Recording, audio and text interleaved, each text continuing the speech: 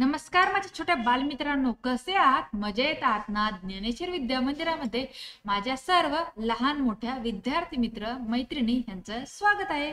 आज मी तुम्हाला एक छान बोधकथा सांगणार आहे.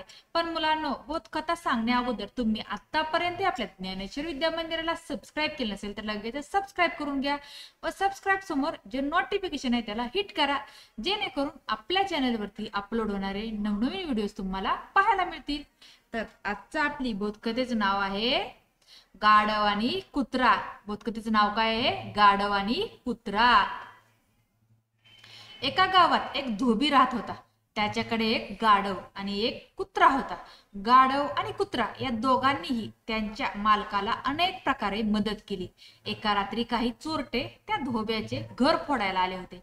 ते बघून कुत्र्याने भुंकायला सुरुवात केली. धोबी उठला आणि शेजारीही उठले. सर्वांना उठलेले बघून आपण पकडले जाऊ शकतो. हे समजून चोर पळून जायला लागले. रस्त्यावर बरेच लोक रस्त्यावर जमा झाले. त्यांनी पळून जाण्याचा प्रयत्न केला पण त्यांना लोकांनी पकडले. धोबीवाला म्हणाला मला माझ्या कुत्र्याने आज मोठ्या आर्थिक संकटापासून वाचवले आहे.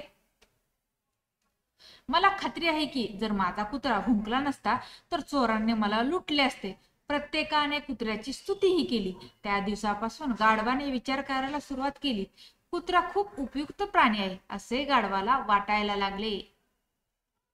गाढवाने ठरवले की तो आपल्या मालकाला म्हणजे धोब्याला दाखवून द्यावे की मी सुद्धा कुत्र्याप्रमाणेच उपयुक्त आहे. काही दिवसांनी पुन्हा एकदा काही चोर त्याच्या त्यांच्या गावात चोरी करायला आले. चोरांनी एक एक घर शोधायला सुरुवात केली. धोब्याच्या घराजवळ कुत्रा बघताच त्यांनी आपला मोर्चा दुसऱ्या घराकडे नेला. चोरांनी दुसरे घर लुटायचा विचार केला. कुत्रा झोपी गेला होता पण बाहेर बांधलेले गाढव हे सर्व बघत होते. गाढवाने आता विचार केला की हीच वेळ आहे. धोब्याला दाखवून द्यायचे की मी सुद्धा खूप उपयोगी आहे. जर मी सुद्धा कुत्र्याप्रमाणे ओरडलो तर सर्व जागे होतील आणि चोर पकडले जातील असा विचार करून गाढवाने जोर जोरात ओरडायला गाढव जोर जोरात ओरडायला लागले. अशा रात्रीच्या वेळी गाढवाचे ओरडणे ऐकून धोब्याची झोपमोड झाली. त्याला खूप राग आला होता आणि त्याने खूप एक मोठी काठी काढली. त्याने रागाच्या भरात काठीने गाढवाला खूप मारली.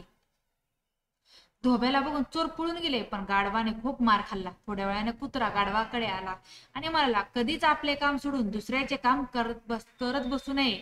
माझ्यासारखे होण्याचा प्रयत्न करण्यापेक्षा आपले स्वतःचे काम करणे चांगले आहे. गाढवाला कळले कुत्रा बरोबर सांगत आहे. त्यानंतर गाढव कधीच कुत्र्याच्या मध्ये आला नाही. तात्पर्य मुलांना कधीच आपण आपले काम सोडून दुसऱ्यासारखे होण्याचा प्रयत्न करू नये. बरोबर आहे ना? आपल्या वर्गामध्ये पण एखादा विद्यार्थी हुशार असतो मग आपण काय करतो? आपल्याला पण वाटतं आपण पण त्याचे त्याचे बरोबर करतो त्याच्यासारखं होण्याचा प्रयत्न करतो. पण ते ते करण्यापेक्षा त्याच्यामध्ये आणि माझ्यामध्ये मी त्याच्यापेक्षा कोणत्या गोष्टीत हुशार आहे?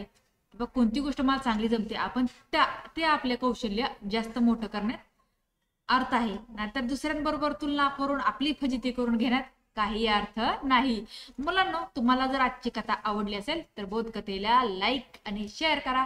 चॅनलवर नवीन असताना चॅनलला सबस्क्राईब करा. धन्यवाद.